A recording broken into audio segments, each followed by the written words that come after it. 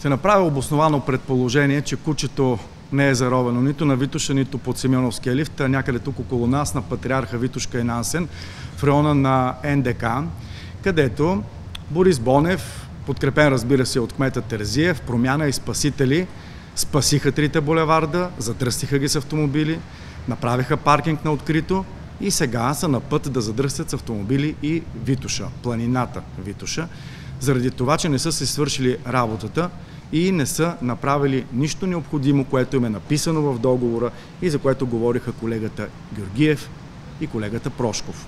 Всъщност, колеги, вие им дадохте пътната карта от първа до последна точка, само кмета трябва да си свърши работата и да я подпише. Защото вместо кмета Тързиев да е много очуден в края на 2023 година и в края на февруари да обяснява, че ще прави пътна карта за Витуша и този проблем, помня, в дебатите беше изключително сериозно засегнат. Не обеща в дебата на Теп Антон, че той каза, ще седнем на маса да водим преговори.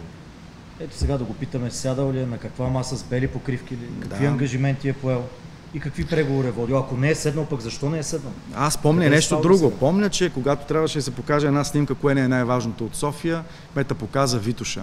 За 7 месеца ние не видяхме нищо, което да е свършено за Витуша, защото нямаме никакво реално действие, освен действието, което виждаме в момента. Спирането, по-скоро бездействието, спирането на Симеоновския лифт. Така че, аз ще припомня нашето искане и всъщност няма нужда кмета Тързиев да пише фейсбук постове и да обяснява, че всичко, което се случва във връзка с новата организация, той приема предизборно и че исканата от нас оставка на заместник кмета по транспорта Павлов, той приема като предизборна като предизборни действия от своите опоненти. Не, не са предизборни действия. Като предизборни действия ние отчитаме повдигането на темата за Витуша, за която 7 месеца кметът Терзиев нищо не е направил.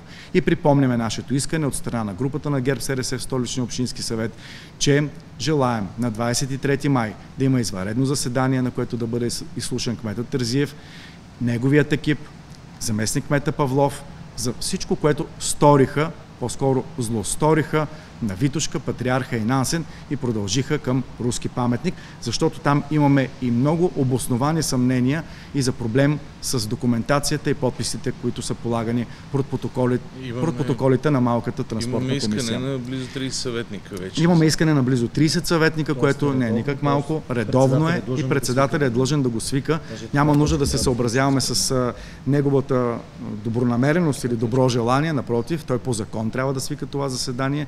Ние очакваме кмета да даде всичко необходимо да отговори на, да отговори на всички важни въпроси.